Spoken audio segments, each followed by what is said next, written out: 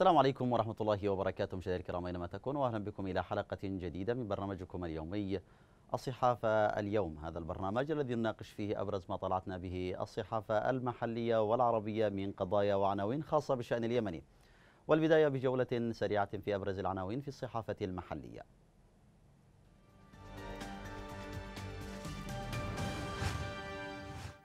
البداية من وكالة الثاني من ديسمبر وفيها نقرأ الإجهاز على مجاميع حوثية في معارك هي الأعنف بين الجوف ومأرب.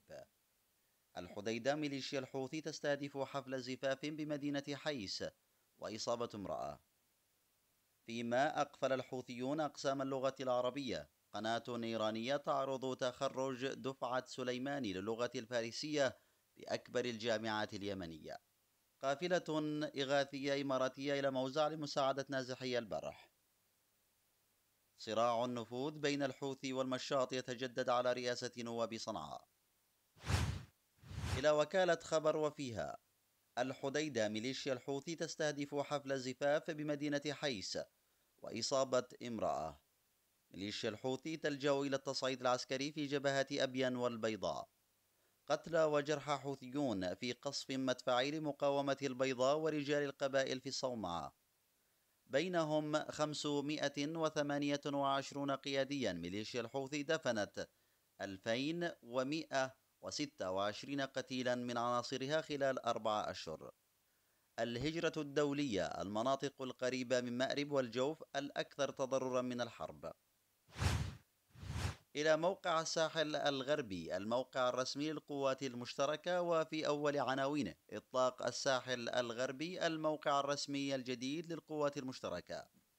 وفيه أيضا هاونات الإرهاب الحوثي تمطر ليل القرى في الدريهمي في عاصمة الحديدة ندوة نقاش حول مخاطر تسرب خزان صافر على بيئة البحر الأحمر.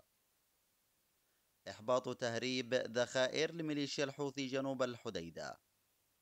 النقاط الطبية لألوية العمالقة في حيس تخدم المواطنين والنازحين على مدار 24 ساعة.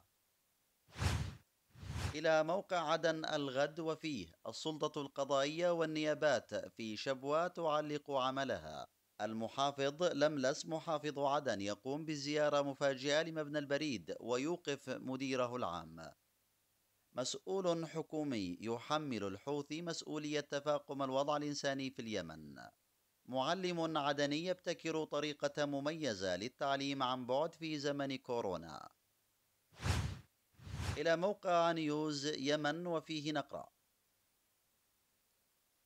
ميليشيا الحوثي تعترف بمصرع أحد عشر قياديا عسكريا صحيفة هندية ميليشيا الحوثي تحتجز هنودا كرهائن. مقتل وجرح حوثيين في قصف للمقاومة في البيضاء. الجيش يسقط أربع طائرات حوثية مفخخة فوق نهم. إلى صحيفة الشارع وفيها نطالع. مواجهات عنيفة مع مسلحي الحوثي حول معسكر ماس الاستراتيجي في مأرب وقصف يجبر الحوثيين على التراجع. ميليشيات الحوثي تعرقل مساعي فتح طريق الفاخر إب وتطلق النار لمنع السيارات والمركبات من المرور فيها.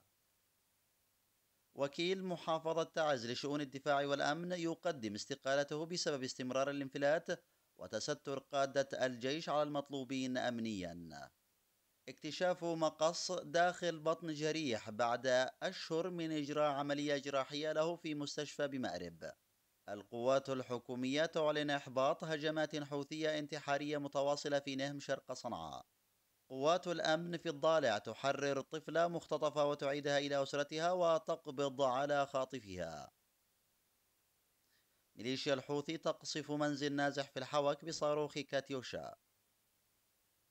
وأخيرا معلم الشمايتين يناشدون محافظ تعز إعادة المبالغ المستقطعة من مرتباتهم وإطلاق رواتب المتوفين من زملائهم. الآن إلى جولة سريعة في أبرز ما طلعتنا به الصحافة العربية من قضايا وعناوين خاصة بالشأن اليمني.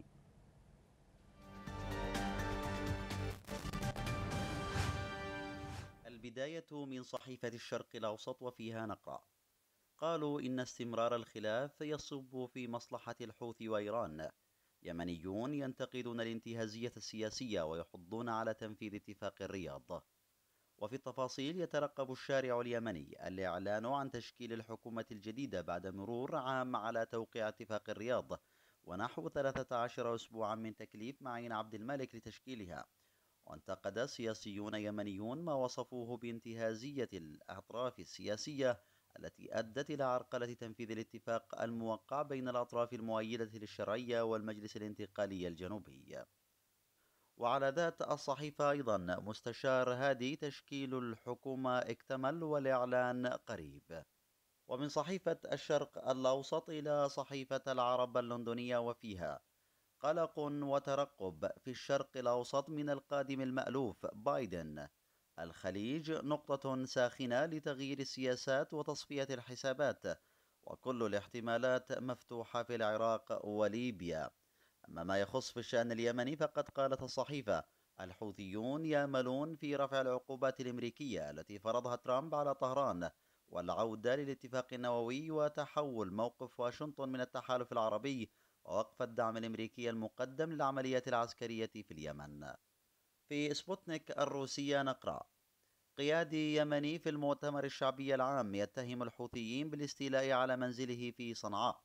وفي التفاصيل اتهم القيادي البارز في تنظيم المؤتمر الشعبي العام أكبر الأحزاب في اليمن ياسر العواضي يوم الأحد جماعة الحوثيين بنهب منزله في العاصمة صنعاء وسط اليمن من قبل نجل مؤسس الجماعة. وقال العواضي وهو الأمين العام المساعد للمؤتمر في تغريدة على حسابه في تويتر إن صديقنا أبلغه بقيام علي حسين الحوثي باحتلال بيته المنهوب في حي السفارة الألمانية في صنعاء والسكن فيه. وأضاف أن هذا ليس هو المهم والأهم بدأت تتضح للناس مقرات وسكن قيادات الحوثيين معتبرا ذلك مؤشرا على أنه طاب لهم المقام في إشارة إلى القيادات الحوثية. من الصحف المصرية نقرأ والبداية من صحيفة الأهرام. مستشار الرئيس اليمني تشكيل الحكومة اكتمل والإعلان قريبا. وفي التفاصيل أكد مستشار الرئيس اليمني عبد العزيز المفلحي اكتمال اللمسات الأخيرة المتعلقة بتشكيل الحكومة الجديدة المنبثقة عن آلية تسريع اتفاق الرياض بين الشرعية والمجلس الانتقالي الجنوبي متوقعا أن يعلن عنها في غضون أيام. وفي الصحف المصرية أيضا لكن هذه المرة من صحيفة اليوم السابع. التحالف العربي يدمر تعزيزات للحوثيين في محافظة الجوف ومن الصحف السعودية نقرأ والبداية من صحيفة مكة. الجيش اليمني يسقط أربع طائرات حوثية مسيرة. مسام يفكك 862 ذخيرة غير منفجرة وسبع عبوات ناسفة خلال أسبوع. وفي صحيفة اليوم التحالف يدمر طائرة بدون طيار مفخخة أطلقها الحوثي باتجاه المملكة. ومن الصحف الإماراتية والبداية من الإمارات اليوم تحرير سلسلة جبال بالجوف وتدمير منصة صواريخ حوثية في صعدة. استمرار المعارك في مأرب والضالع وتعز وصنعاء. وفي الصحيفة أيضا اشتباكات حوثية حوثية في صنعاء. أما في صحيفة الاتحاد عشرات القتلى الحوثيين بهجمات فاشلة في نهم إذا كما تابعنا ركزت الصحافة العربية على اتفاق الرياض وعلى ما أسمته صحيفة الشرق الأوسط الانتهازية السياسية التي تعيق تنفيذ هذا الاتفاق والأطماع الحزبية والمصالح الضيقة على المصلحة الوطنية وتغليب المصالح الضيقة على المصلحة الوطنية. لمناقشة هذا الموضوع ولماذا تأخر هذا التنفيذ ولماذا كل فينة وأخرى يخرج علينا مستشار لرئيس أو ربما حتى وزير ليقول لنا بأن الحكومة قد اكتملت والإعلان قريبا ثم لا يأتي ذلك الإعلان. لمناقشة هذا الموضوع يسرني أن يكون ضيفي الأستاذ محمود الطاهر الكاتب والمحلل السياسي. أهلا بك أستاذ محمود. أهلا وسهلا بك وبالسادة المشاهدين. نبدأ النقاش بعد فاصل قصير.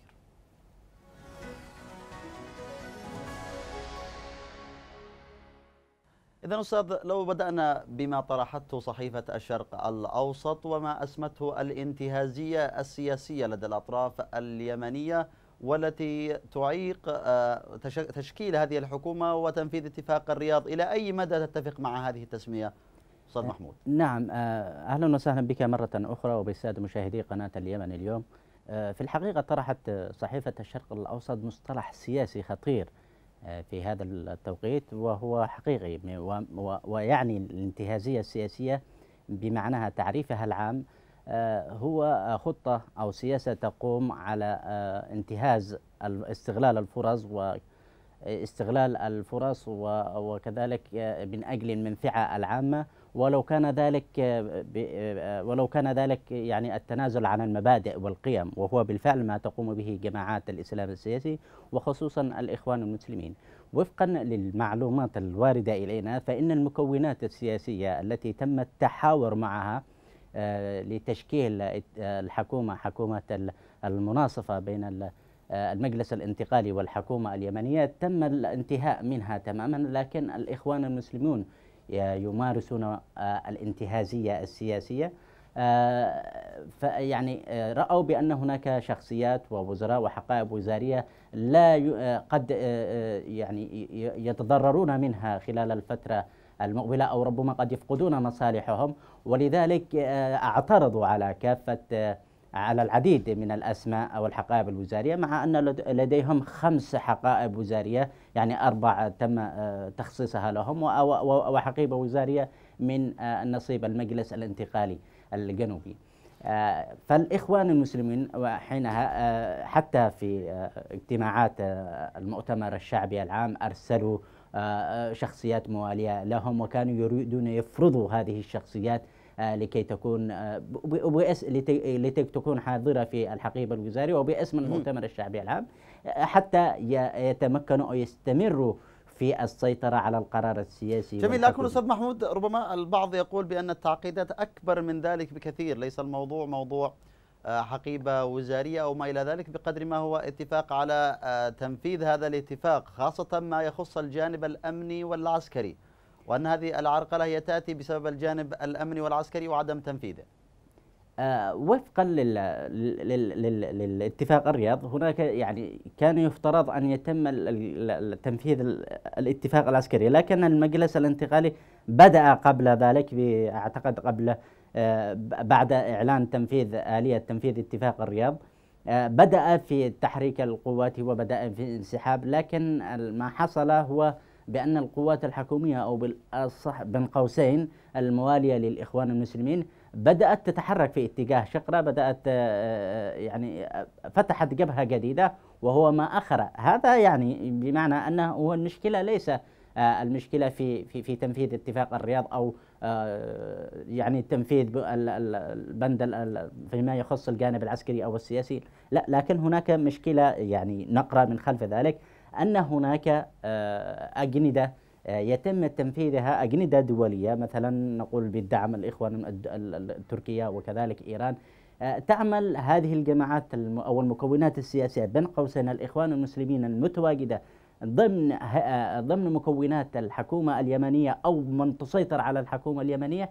تنفذ تلك ال لكن أستاذ محمود فقط أنا ألاحظ أنك ربما تذهب في اتجاه واحد وكأن المعرقل هو اتجاه واحد فقط البعض يقول بأن الجميع جميع المكونات يجب أن تلتف ويجب أن تقدم التنازلات ما رأيك؟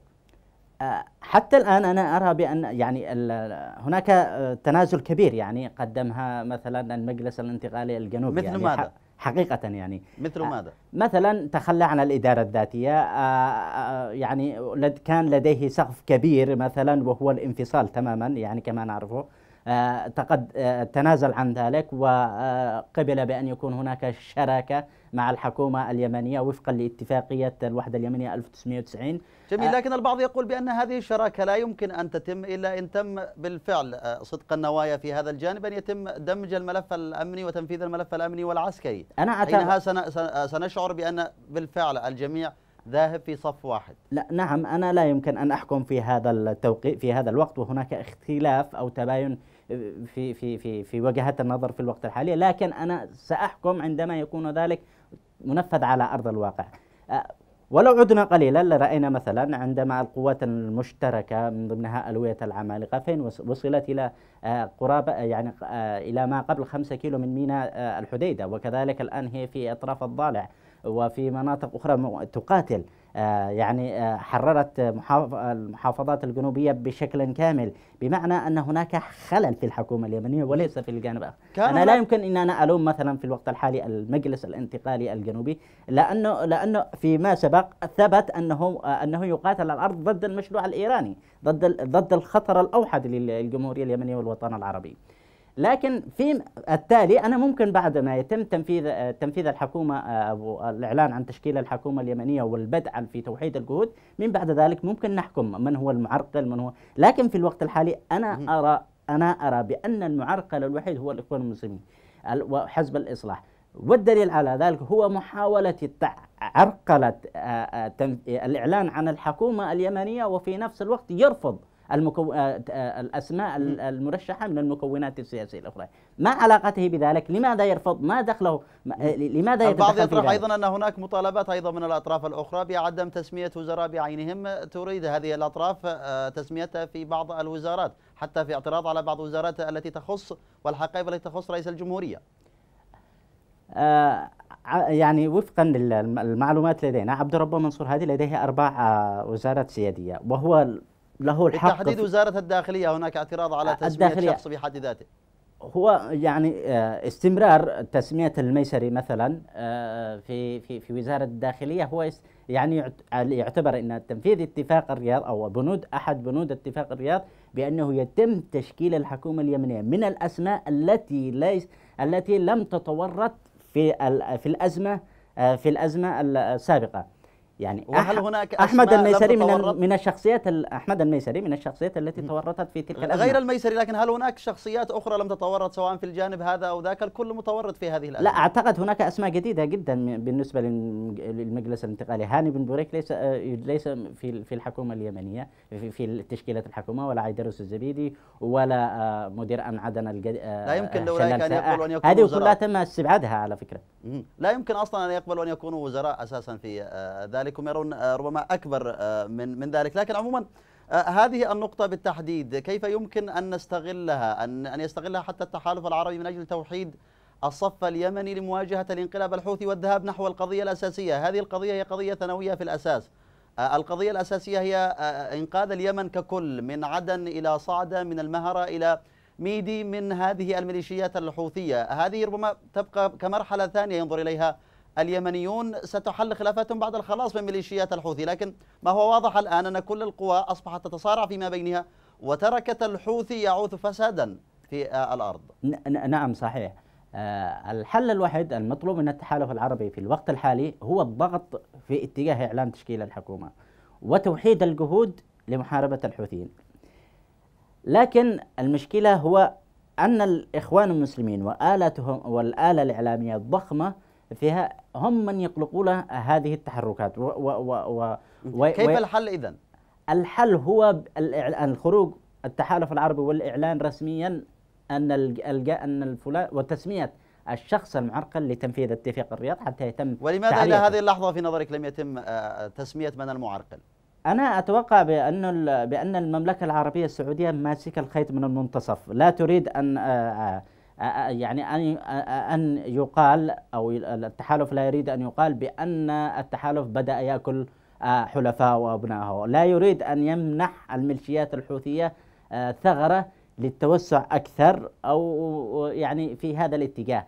فهو يعني أعطى الفرصة الأوسع لأن ينتهي حتى آخر يعني لأن يكون هناك أكثر وقت من المشاورات من الحوار السياسي إيه، وهو أعتقد سيكون في آخر نهاية هو من آه، سي آه، يعني سيتدخل وفرض ذلك. ربما الأخبار مبشرة. الآن مستشار رئيس الجمهورية تحدث بأن الحكومة ستعلن قريبا وأن الأسماء تم الموافقة عليها وكل هذه الأمور. لكن منيفة منيفة صحيح الأسماء جميعها الأسماء كلها على طاولة الرئيس عبد الرب منصور هذه لكن المشكلة في آه، في من حوله في في مكتبه في نائبه في يقولونه لا يعني أوصوا بأنه لا يتم الإعلان عنها إلا إلا بعد أن يتم آه، الإخوان المسلمين دراسة كل تلك الأسماء بالتزامن مع أن ينفذ المجلس الانتقالي الجنوبي الشق الجانب العسكري من تنفيذ اتفاق الرياض. هنا جميل. المشكلة فقط في إدارتي ونائب الرئيس. ليس المشكلة في في في, في تأثيرها أستاذ محمود آه الآن ربما هناك تحولات آه في البيت الأبيض وصول إدارة جديدة من الديمقراطيين. آه، ربما الحوثيون وربما آه، أربابهم ومن هم أولياء نعمتهم في إيران يراهنون على الإدارة الجديدة وبأنها آه، ربما ستخف الضغط أكثر مما كانت تعمله إدارة ترامب هذا التحول في إدارة في الإدارة في البيت الأبيض هل لها من ظلال على الأزمة اليمنية؟ من يراهن على الولايات المتحدة الأمريكية فهو أعتقد أنه من هذا من الغباء السياسي الولايات المتحدة الأمريكية لديها مؤسسات وهناك نموذج واحد في, في, في, لحكم منطقة الشرق الأوسط أو للسيطرة على منطقة الشرق الأوسط. آه اللهم إن كان ترامب كان وقحا يعني في سياسته تجاه وكان عنيدا وكان آه قويا جدا وكان صريحا كان لا يخشى الحديث الدبلوماسي. آه لكن الفترة القادمة آه، هناك يعني الولايات المتحدة الأمريكية تعمل على آه، إنشاء أزمات إدارة الأزمات في المنطقة من أجل التربع من أجل أن يبقى الوطن العربي كله في صراعات. يعني حتى في الوقت الحالي مثلا في في في في الجمهورية اليمنية الحرب في اليمن الولايات المتحدة لن لن تحل المشكلة بل ستسعى بأن يكون هناك لا حرب ولا سلام. وبالتالي آه، آه، ستنشئ آه، أزمات جديدة وستزيد المعاناة الإنسانية في اليمن. الولايات المتحدة لا يهمها مثلا الاستقراء مثلا أن تنتهي الأزمة اليمنية أو أن يكون منطقة الشرق الأوسط ينعم بالأمن والاستقرار لأن تواجدها يهمها. وكذلك إيران موجود يعني سيكون هناك بعض التوازنات الصغيرة مثلا تقوية إيران تقوية بعض الميليشيات المتواجدة مثلا الإخوان المسلمين. وبعد ذلك يعني هناك عمل إدارة أزمة وهناك لعبة الأمم تقودها الأمم المتحدة من البيت الأبيض. لا يمكن المراهنة عليها ولكن الأفضل والحل الأسلم هو أن تكون قويا في في في منطقتك هو أن تفرض قوتك لكي لكي تحترمك الولايات المتحدة الأمريكية. لا بد أن يكون لديك القرار السيادي والسياسي الأول. لا بد أن تكون مسيطر على وهذا لا بد عن على الحكومة اليمنية أن تستغل هنا ربما أنا أردت أن أدخل هذا الموضوع بالتحديد وعلاقته بتسريع تشكيل الحكومة اليمنية وأيضا الحكومة الشرعية وأنت قد أوضحت ذلك بما فيها الكفاية. إلى موضوع آخر ومحور آخر هناك إحباط لعمليات تهريب تتم في الساحل الغربي. ما أثر ذلك على الميليشيات؟ وما هي آخر ربما العمليات المحبطة؟ وهنا دعني أشرك معنا العميد نجيب ورق مدير أمن محافظة الحديدة أهلا بك عميد نجيب أهلا وسهلا بك أخي الكريم. اذا آه، بين الفينة والأخرى تعلنون عن عمليات إحباط لتهريب، ما جديد آه، هذه العمليات؟ أخي العزيز أحييك وأحيي الأخوة المشاركين والمستمعين في قناة اليوم اليوم. وحقيقة هناك تحاول وتنسيق كبير ما بين قيادة الاليه وقيادة التي تقودها قيادة القوات المشتركة في الساحل الغربي سواء المقاومة الوطنية أو المقاومة السهميه أو الاخوات العمالقة. وهناك تنفيذ كذلك بينهم وبين الاجهزه الأمنية من أجل الحفاظ على أمن واستقرار المواطن وتجديد خدماته في المديريات المحررة على امتداد الساحل الذي يمتد تقريبا من المقا إلى الحديدة أكثر من 150 كيلو أو 200 كيلو. التنسيق مستمر في مكافحة التهريب سواء عن طريق البحر أو البر ولعلكم سمعتم قبل يومين آخر عمليه تم إحباطها وتهريبها للميليشيات الحوثية. الميليشيات الحوثية حاولت مرارا وتكرارا سواء في الهجمات الأخيرة وكذلك تحاول بكل جهودها وبشتى الوسائل وبزرع الخلايا والمهربين والمجسين من أجل زعزعه الأمن والاستقرار في تلك المديريات ولكن دائما تبوء بالفشل. دائما يا أخي العزيز التكاتف واللحمة الوطنية والتركيز العدو الرئيسي وهي الميليشيات الحوثية أجناد إيران آه يجب أن يعلم الكل أنه متواجد في الساحل الغربي القوى ضاربه آه، تعمل كلها تحت قيادة مشتركه سواء القوات المشاركة في القتال أو الأجهزة الأمنية. وكذلك لا ننسى أن نشكر جهود الاخوه في قيادة التحالف ممثله بالاخوه بالمملكه العربية السعودية ودولة الإمارات العربية الشقيقة. وللأسف بعض الطوابير وما يسمى بالطابع الخامس والمنتشرين هذه الأيام والذين يسعون إلى زعزعة الأمن والاستقرار في المديريات المحررة ويعلمون أشياء بعيدة كل البعد. أما تقال على ألسنة هؤلاء وهي تقسيم آه مديريه المقهى مع مديريات المحررة لمحافظة الحديده إلى محافظة واحدة تحت ما يسمى محافظة الساحل الغربي. وللأسف أمام وجود المثقفين والسياسيين يتداولون هذه الإشاعات الإعلامية المغرضه التي لا تخدم الجبهة من أي جهة من المستفيد؟ من المستفيد من هذه الشائعات ومن ورائها؟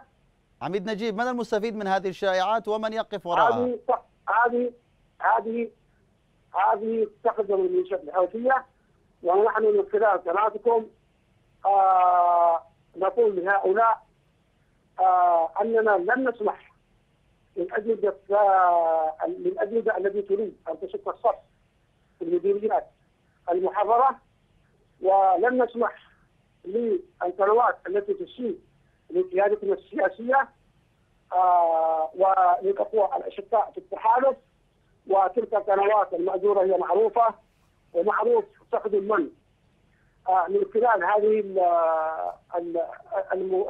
المداخلة الإعلامية يجب أن نركز على الأشياء الأمنية ويجب أن نركز على وحدة الصف وأن نكون نحن وطنية واحدة وأن العدو الرئيسي هي الميليشيات الحوثية الكل يعمل اليوم تحت قيادة القوات المشتركة سواء الأمنية المقاتلة أو الأجهزة الأمنية سواء الأمنية الموجودة في عام سلطة محافظة حميدة وكذلك قوات حفر السواحل المتمثلة والمنتشرة من باب المندب إلى آخر مركز في الدريهين وكذلك في الجزر.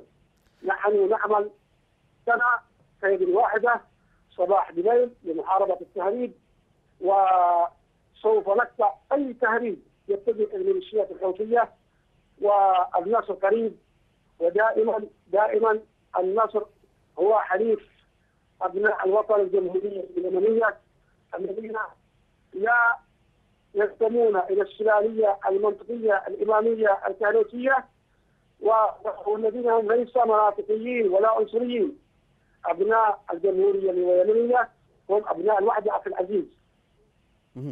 آه، عميد نجيب آه، أخيرا فقط أود أن أسألك آه، تحرير هذه المناطق الشريط الساحلي المحرر كيف حرم الميليشيات؟ إلى أي مدى حرم الميليشيات مما كانت تستفيد به من ربما ما تهربه عن طريق البحر وما تمولها به إيران؟ هذا السؤال أخي الكريم. نعم أنا سألتك عن مدى الأثر أثر تحرير المناطق الساحلية شريط الساحل المناطق المحررة. كيف حرمت ميليشيات الحوثي من جزء كان مهما من ما يهرب عن طريق البحر عن طريق إيران لهذه الميليشيات من أسلحة وغيرها. يجب أن تعرف أن القوات المشتركة تحتها قيادتها تضرب بيد من الحديد ابتداء من باب المندب إلى الدريني وهذه المنطقة الحساسة إلى رأس الحارة تمثل نقطة حساسة جدا كانت تستخدمها الميليشيات الحوثية صباح بليل من أجل تهريب الاسلحه والقادمة من إيران والقادمة من الدول المعارضة لدول التحالف وللقياده السياسية الممثلة الجمهوريه اليمنية. التحكم الاستراتيجي الامني الذي حصل الآن بالمديريات المحررة وعلى امتداد الشريط الساحلي ليس بالسهل ويمثل أثر كبير جدا في حرمان الميليشيات الحوثية على في في قطع الطريق بأجل الانجاز لها بأي آه، سواء أسلحة أو غيرها. آه، كانت تستفيد استفادة كبيرة ولكن للأسف الاتفاقية اتفاقية السويد هي من آه، جزأت هذا الشيء الآن التهريب يتم عن طريق المنافذ المعروفة سواء عن طريق الحدود مع سلطنة عمان أو مع النهره وكذلك الدخول عن طريق الخطوط الإقليمية آه، وعن طريق وأنهم متحكمين ما زالوا في آه، ميناء وفي رأس عيسى وفي الصليف ويقومون بالتهريب في هذه المناطق على مرأى ومسمع من وجود الأمم المتحدة. أما على امتداد المدينات المحررة سيحدث الحوثي والدليل على ذلك ضبط أكثر من شأنها سواء عن طريق قوى خط السواحل أو عن طريق القوة الأمنية أو عن طريق الشرطة العسكرية التابعة لألوية المقاومات المتواجدة في الساحل. العميد نجيب أحمد ورق مدير عام شرطة محافظة الحديدة وعضو الفريق الحكومي. كنت ضيفي عبر الهاتف. شكرا جزيلا لك. أعود إليك أستاذ محمود وإن كنت قد أطلت عليك. ربما موضوع التهريب الحاصل. ضيفي حتى أشار إلى منافذ أخرى يتم التهريب منها. كيف تقرأ أنت هذا الملف؟ الذي تستفيد منه كثيرا الميليشيات الحوثية نعم. أولا بالنسبة للعمليات التي تقوم بها القوات المشتركة وتحبط التهريب الحوثي أو التهريب الإيراني إلى الميليشيات الحوثية هذا قليل أو نقطة من بحر الذي يعني لا يؤثر كثيرا وإنما يكشف حقيقة مهمة وهو يكشف أن الميليشيات الحوثية آه، يعني آه، تتلقى الدعم والتمويل العسكري من إيران ويكشفها ويفضحها أمام آه، العالم. الحقيقة الأخرى والمهمة بأن القيادات حوثية وعلى رأسهم محمد عبد السلام أنشأ مئات الشركات الوهمية الاستيرادية والتصديرية وفي قطاع النفط وقطاع الأموال شركات كثيرة يعني مئات الشركات. آه، تعمل على تهريب المخدرات تعمل على تهريب الآثار تعمل على تهريب الأموال تعمل على تهريب الأسلحة الصواريخ البالستية الطيران المسير. يعني هناك شركات وهمية كبيرة جدا آه، أنشأتها الميليشيات الحوثية تعمل في في في هذا الإطار. ولهذا من المستح من الصعوبة جدا أن يتم اكتشاف هذه الكم الكبير من التهريب. ولو إيقاف مثل هذه لابد من التنقيب عن هذه الشركات ووضعها تحت قائمة المراقبة والعقوبات الدولية أو من يديرها من يدير تلك الشركات. آه، وهناك آه، أيضا آه، طرق أخرى يعني مثلا من دول مجاورة تتساهل جدا مع الميليشيات الحوثية. هناك منافذ كثيرة جدا الميليشيات الحوثية تعمل على تهريبها. هنا ما زال الميناء موانئ الحديدة تحت سيطرة ميليشيات الحوثية وهناك الكوارث التي تتم من هناك. تحت رقابة الأمم المتحدة وهذا يثبت فشل اتفاق ستوكهولم. وهذا أيضا يعيد يعني مثلا المبعوث الأممي الآن يحرك ويهدد آه، لإبرام اتفاقية أخرى شبيهة باتفاق ستوكهولم. هنا على الحكومة اليمنية أن تثبت لهم بأن اتفاق ستوكهولم فشل ولو هناك حديثا آخر من مثل مسودة الإعلان المشترك الشبيه باتفاقية ستوكهولم على على الأمم المتحدة أن تنفذ أولا اتفاق ستوكهولم وتسلم الموانئ الحديدة إلى إلى قوات خفر السواحل اليمنية لأبناء اليمن لأبناء الحديدة وليس للميليشيات الحوثية ليتم التهريب الأسلحة إليهم السلاح والمخدرات ومزادة المعاناة الإنسانية في اليمن. الأستاذ محمود الطاهر الكاتب والمحلل السياسي كنت ضيفي. شكرا جزيلا لك. شكرا. دائما وابدا الشكر لكم أنتم مشاهدينا الكرام أينما تكونوا على حسن الإصغاء والمتابعة. غدا حلقة جديدة. اللقاء.